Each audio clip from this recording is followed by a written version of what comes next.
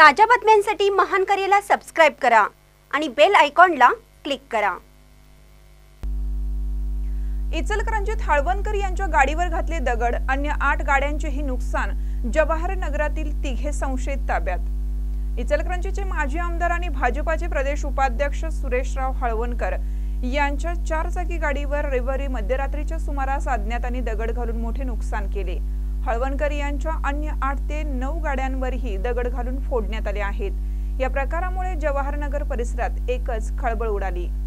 या घटनेत गाड्यांचे मोठे नुकसान झाले आहे. त्याचबरोबर जवळच असणाऱ्या कल्लाप्पना आवाडे पाणी फिल्टर हाऊसची तोडफोड करण्यात आली आहे.